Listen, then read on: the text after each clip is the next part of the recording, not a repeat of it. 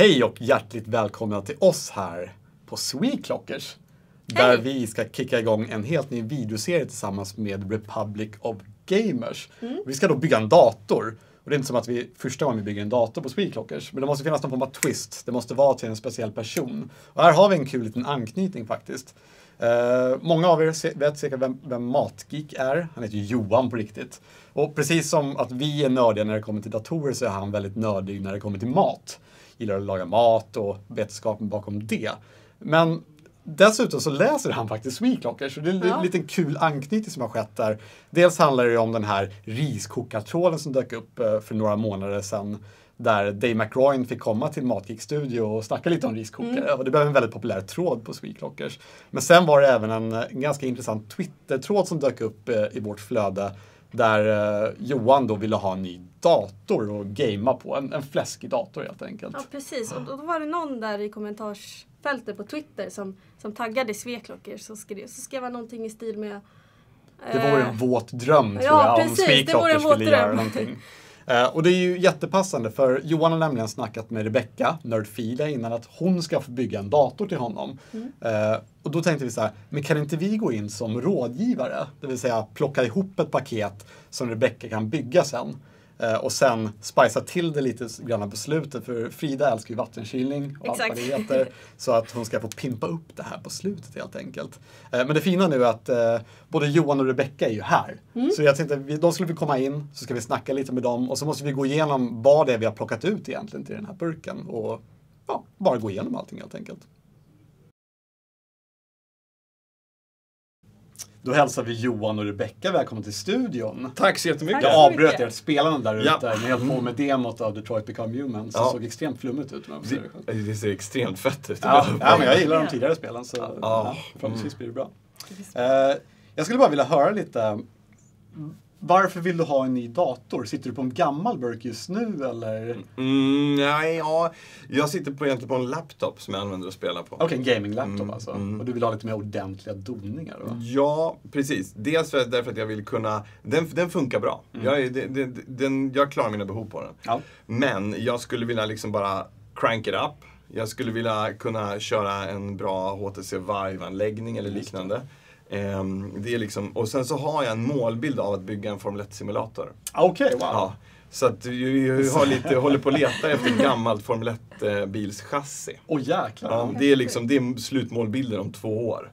Och du Rebecca, du började bygga datorer för inte så länge sedan, eller hur? Nej, det var väl två år sedan jag byggde min första dator. Ja. Hur kändes det då första gången? Var det väldigt jobbigt? Kändes det nervöst? Eller var det... Ja, jag började med att bygga ett monster också. Ja, precis. Så alla delar var ju skitdyra, men det var ju det att jag skulle klara det. Men det Ja. är ju bara googla upp allting, hur man gör och sen så... Jag lyckades ju. Jag dödade inte den första datorn Nej, men det är ju ett jättebra resultat i Ja. Och nu har Frida gjort, kommer ju Frida göra livet surt för dig som hon har skräddarsytt ett chassi och beställt in Ja, det är bara för att göra det. allting så krångligt som möjligt. Jag är lite nervös inför det där chassit, men det ska Ja. nog gå bra. Jag tänkte vi skulle snacka lite om komponenterna främst då som vi ska Ja. stoppa in. Eh, och Frida har även beställt 20 000 miljarder vattenkylningsprylar, för det behöver man ju. Alltså det står en mindre säck där nere. Ja men det gör ju det, det är bara lite skrämmande litet bara den. här av liksom. saker, men precis. det är mycket. Men hur bra koll har ni på senaste snittets hårdvara liksom? Om jag säger exempelvis, ja men vi ska stoppa in en Core i7 8700K i den här. Du, det står en sån för ask här någonstans. Där det står en Core i5. Det trodde jag var en sån här retro floppy disk. Ja precis. Det är inte att skitbra koll. Nej, okej. Men det är, alltså det är egentligen inga konstigheter. Vi har stått och bollat, eh, vi har diskuterat fram och tillbaka inom redaktionen, så här, hur ska vi välja ut de bästa komponenterna just för det här ändamålet. För jag menar, en processor är ju bara så bra mot det ändamålet den är till för. Mm. Och nu snackar vi väldigt mycket spelfokus, det ska streamas lite granna. Eh, och det var egentligen därför vi gick på just den här Mm. Core i7-processorn då. Coolt. Eh, den har sex kärnor. Ja, Ja. fett. Ja, och kan köra 12 trådar, det är häftigt också. Mm. Eh, Men det fetaste är att den har väldigt hög klockfrekvens. Ja. Eh, En maximal klockfrekvens på 4,7 GHz. Okej. Ja. Mm. Eh, Och det är ju bra. Mm. Och kanske kan överklocka den lite mer, så vi ska bygga med vattenkylning och så vidare. Jag är ju jag är ju 42 år. Ja, Jag minns ju när min polare hade en 286 med en turboknapp. ja just det, precis. Mm. Så det har ju hänt lite sedan dess. Ja, ja, absolut. Men det är roligt, det finns vissa moderkort med turboknappar nu för tiden också. Oh, där den automatiskt överklockar alltihopa. Ah, coolt. Mm. Och vi ska ju faktiskt använda oss av ett moderkort. Nu är allting superpilat här. Eh, och för en gångs skull så ska vi faktiskt bygga med lite mindre moderkort. De flesta brukar ju vara lite större, och man brukar ha ganska fläskiga chassin och bygga såna här feta byggen. Men Frida kom på idén att beställa in ett chassi för mikro-ATX istället. Vilket är ett snäpp ner då från ATX som är den standardiserade formfaktorn för datorer. Det valde jag egentligen för att jag tycker det blir mycket snyggare när det blir lite mer kompakt. Speciellt om du bara ska ha ett grafikkort. Det är snyggare, det är snyggare när du har komprimerat Ja men precis, och, Mm. liksom, och det är mycket snack nu för tiden också om varför ska du ha ett fullstort moderkort när du ändå inte stoppar in någonting på det. Ja, visst. Eh, typ, de flesta kör med ett grafikkort, ljudet är integrerat på moderkortet. Typ wifi och sånt där brukar också finnas på moderkortet. Det är, liksom, det är ingenting ja. som man behöver tänka på liksom. finns. Det är, inte, det är ingen soundblaster längre. Alltså det, man kan ju köpa ett soundblaster men De- de liksom, gör fortfarande de ljudkort. gör fortfarande ljudkort även nu. Ja, det är helt sjukt hur länge de har hållit Mm. i egentligen. Eh, förutom det så ska vi pluppa in jäkla massa minne. Ja. Eh, de flesta brukar köra på 16 gig.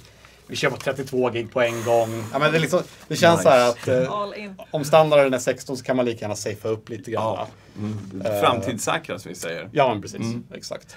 Eh, men det kanske viktigaste när man bygger en gamingburk är ju grafikkortet. Ja. Eh, och eh, för er som hänger mycket på Sweetlockers vet att det är ett helvete att köpa grafikkort just nu. Mm. För att folk håller på med sån här kryptomining. Det här fick vi typ beställa för hur länge sedan som helst Ja. för att eh, ens få tag på säga, vi beställde från jag tror fem olika ställen och det var en som lyckades få in den. Oj. Jävlar. Ja, Okej, så det där är G- GeForce GTX 1080 Ti? ja, precis. Okej. Eh, annat intressant, eh, alla behöver ju lagring. Ja. Så man kan installera spel. Vanligtvis på SSD så är de, ja, de är ganska små liksom. Men de här är exceptionellt små. Det är bara Ja. kretskort som man sätter direkt på moderkortet. Och de är extra, extra snabba också. En till anledning att köpa dem också, Mm. jag som moddare som gillar det estetiska, Just Ja. det är att du, du slipper allt kablage på baksidan av chassit. De här monterar liksom rakt in på moderkortet så du slipper Coolt. alla de här kablarna. Det är väldigt bra tycker Ja, jag. det är Ja, faktiskt det är smart. väldigt, väldigt bra. Mm, det. För det är ju bland det fulaste som finns, lagringsenheter Ja. i en dator. Man vill bara bli av med dem. Ja. Det är väldigt svårt att få de kablarna snygga också. Ja, exakt.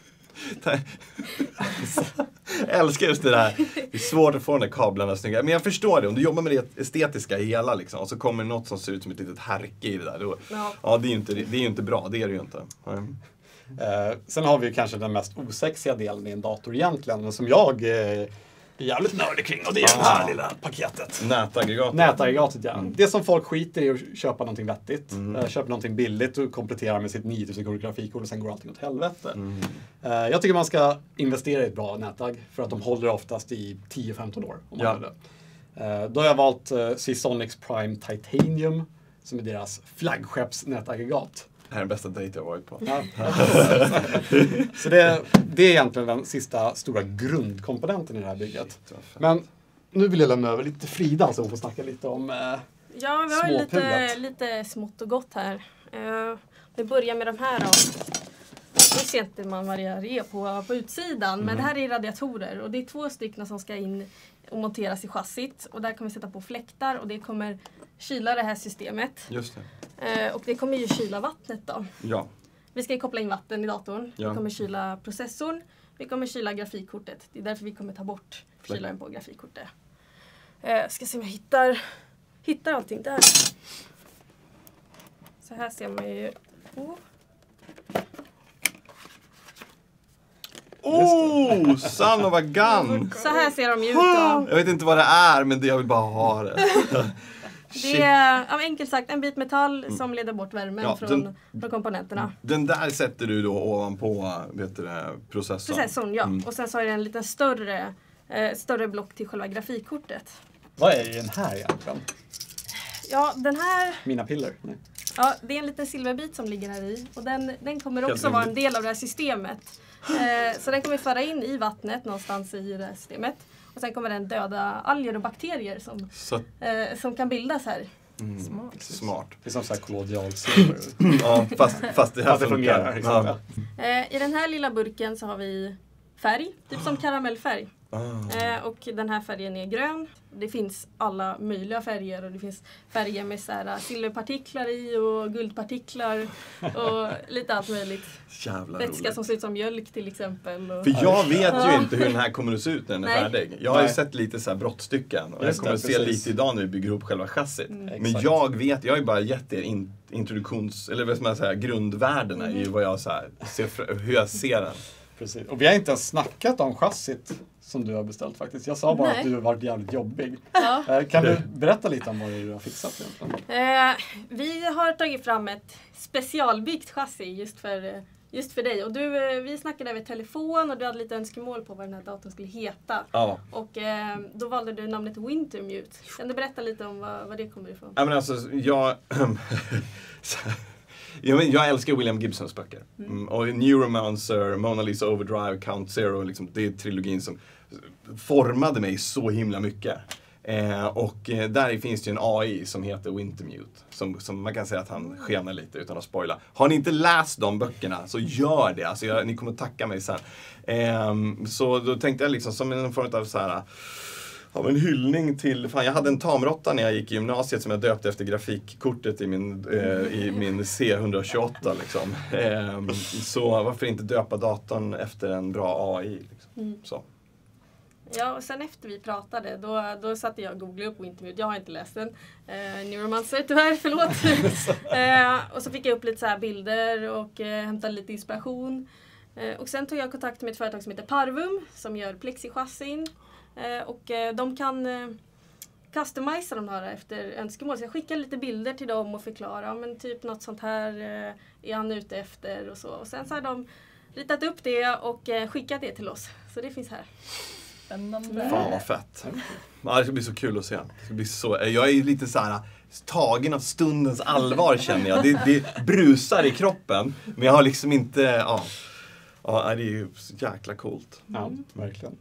Men ja, det känns väl som att vi har gått igenom det som finns här. Så nu tänkte jag att vi ska lämna över till er. Yes. Så ska ni få packa upp det här och börja mecka med det. Shit, Den roliga biten. Ja.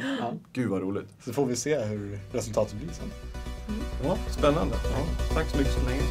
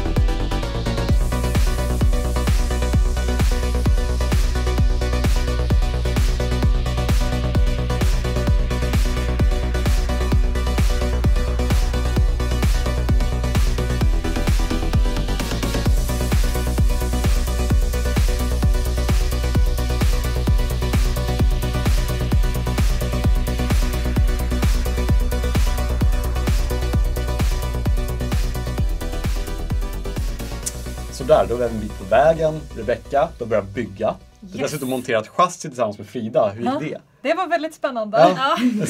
Det är inte så ofta man bygger ett chassi från ett platt paket, ett IKEA-stuk nästan. Nej, det är första gången jag är med om det faktiskt. Det Ja. var kul. Eh, Så nu är egentligen förarbetet gjort. Eh, Och nu återstår ju bara det här lilla arbetet som du ska utföra Frida. Ja, Ja. nu kommer jag bygga färdigt vattenkylningen i datorn. Jag kommer tillverka lite kablar. Bara fixa slutfinishen på den tills den ska läm- lämnas över till Johan då. Men då syns vi om, hos dig Ja, om sådär två veckor. ungefär. exakt. Eh, och ni kan bara fortsätta följa den här videoserien på sajten. Eh, det kommer ju vara lite olika hos Sweetlockers, hos Matgig och hos Nerdfilia. Så det kommer finnas ganska mycket innehåll att kika på där. Ska det. Mm. Så tills dess, vi ses snart igen. Ha det bra! Ha det bra.